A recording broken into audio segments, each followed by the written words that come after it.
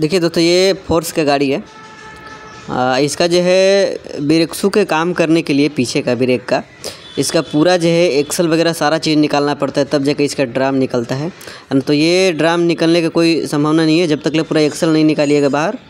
आई इसमें ड्राम में ही पूरा बैरिंग देता है फिक्सुअल बैरिंग देता है इसमें। उसके बाद से ये निकलेगा ये पूरा ड्राम। पूरा असेंबली ड्राम रहता है इसमें। हब के साथ।